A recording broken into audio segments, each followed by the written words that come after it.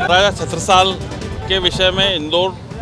या मालवा क्षेत्र के लोग, राजपूत समाज या अपना जो समाज है, जो भारतीय समाज, हिंदू समाज है, ये बहुत कम जानता है। तो महाराणा छत्रसाल का एक अलग ही व्यक्तित्व है। मतलब उन्होंने हिंदू धर्म की रक्षा के लिए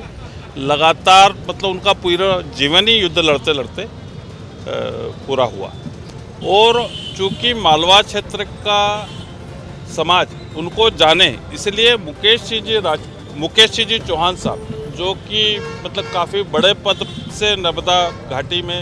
सचिव के पद से रिटायर हुए और उनके